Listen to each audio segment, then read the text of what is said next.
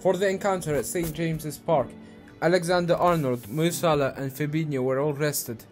In the absence of Liverpool's regular taker, Captain Henderson took over the free kick duties.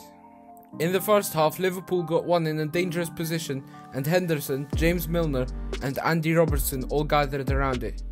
The captain took a step forward and hit a set piece that was well off target. It sailed wide of the target and into the stands behind the goal, where Newcastle fans were waiting. When the camera turned around to Alexander Arnold, who has a lot of set piece goals for the Reds, he couldn't help but burst out laughing. Alexander Arnold was cracking up on the bench with Liverpool's second string goalkeeper Caoimhin Kelleher, who was leaning over to check out the replay to see how horrible it was.